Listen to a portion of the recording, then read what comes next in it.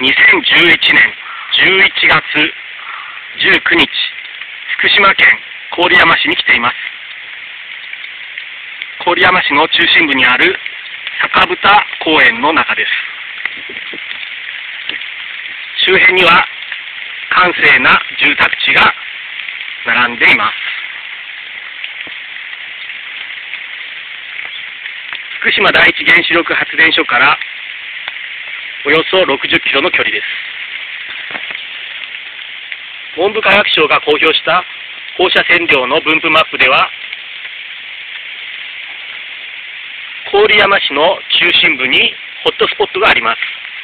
郡山駅から南西におよそ1キロから1.5キロの地域です。直径およそ1.5キロから2キロのホットスポットがあります。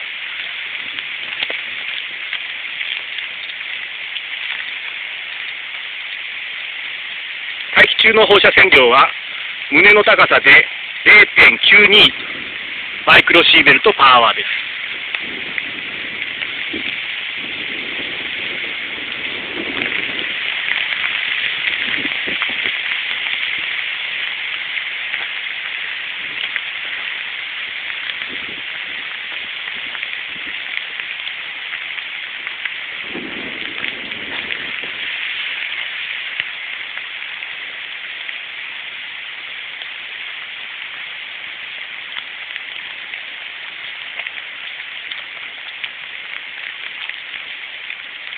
道路脇の水たまりの上で放射線量を測ってみます。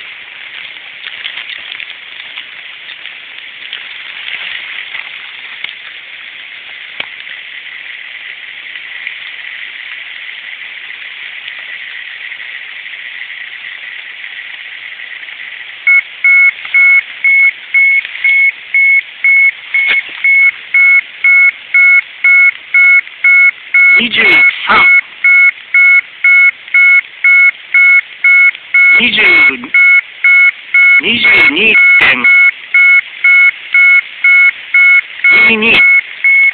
マイクロシーベルトパワーです。